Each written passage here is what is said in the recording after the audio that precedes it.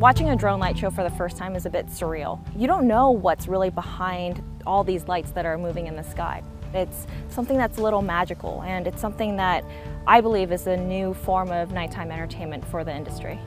Intel got into drones in a very serendipitous way. We were just talking in the hallway about how cool it would be to have 100 drones form the Intel logo above our headquarters. We knew that was something that was technically challenging. So we said, well, how do we engineer a solution to this? We wanted to see how we could fly 100 drones with one pilot, and that was about three years ago. We flew the first shot in Germany, and then we said, let's push this a little bit more. What else can we do with this technology?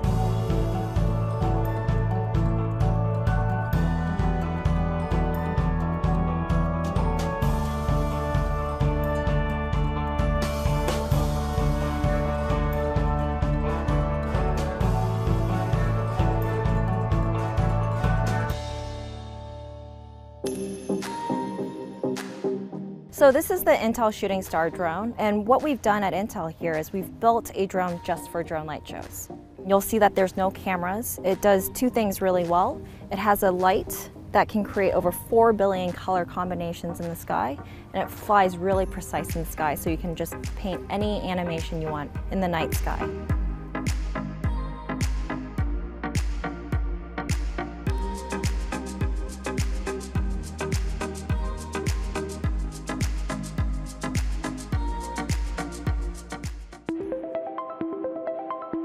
The control center understands the states of all of the drones that we have here. So if you select a specific drone, you can actually see the battery life, the GPS, the temperature, and so forth. So that's how we know that the drone is healthy and stable to fly.